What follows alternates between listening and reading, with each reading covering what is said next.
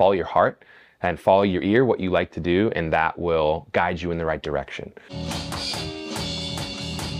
Hi, my name is Jacob Galdes, uh, and I'm a guitarist and music director out here in Los Angeles. I'm originally from the Bay Area, so like I'd say 20 min minutes east of Oakland. I play and music direct for an artist named Maddie Zahm, who's like a pop singer-songwriter.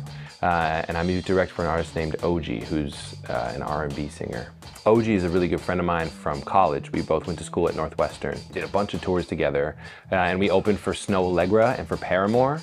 And it was like, you know, I just moved out to LA probably like six months ago, and it was like boom, opening for Snoh, like 5,000 cap rooms, opening for Paramore, 5,000 cap rooms. It was just like, it was just a, such a fun experience. Like Ogi and I had worked on like arranging her show and then to get to hear that show like blasting through massive speakers in front of 5,000 people was just like a surreal experience, man. Once you get to a certain level, like everybody can play. Everybody can play their instrument, everybody understands music.